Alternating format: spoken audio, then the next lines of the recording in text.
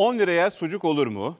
5 liraya salam olur mu? Bu sorular çoğaltılabilir. Görüyorsunuzdur şarküteri ürünlerinde en sık sorulan sorular bunlar. Çünkü bu fiyatlara satılıyorlar.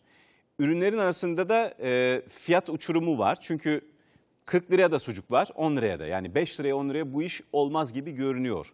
Ama mesele şu, işin sırrı içindeki ette. Ama hangi üründe ne kadar et var, gerçek et var anlamak mümkün değil. Peki ne yapacağız? Nur Köşker araştırdı. Sosis, salam, sucuk alıyor musunuz? Arada alıyorum her zaman değil. Et içermediğini düşündüğüm için almıyorum. Markete girdiğinizde e, fiyatlarına göre arada %30, 40, 60, 70 oranında farklı olan salam ürünleri, işte sosis ürünleri var. Yanımda iki farklı markaya ait salamın içindekiler listesi var. Birinin fiyatı 87, diğerinin ise 32 lira. Fiyat olarak arada dağlar kadar fark var ama içindekiler listesine baktığımızda da birbirine yakın değerler var. Peki neden biri daha pahalı? Kanatlı etinden üretilmiş olanları var, dana etinden üretilmiş olanları var.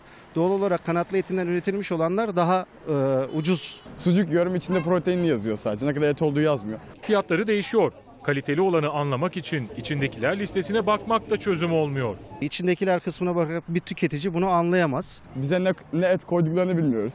Güvenmiyorum çünkü içeriğine. İçindekiler kısmında et oranı yazmıyor zaten. Hadi ya. Doğrudur gerçekten. Onun farkında bile değilim. Hayvanın kıkırdak dokuları, ince kemikleri falan da un haline getirilerek burada kullanılabiliyor. Salam, sucuk ya da sosis alırken ne kadar et içerdiğine bakıyor musunuz? Pek bakmıyorum. Peki nasıl anlayacağız içinde et olup olmadığını?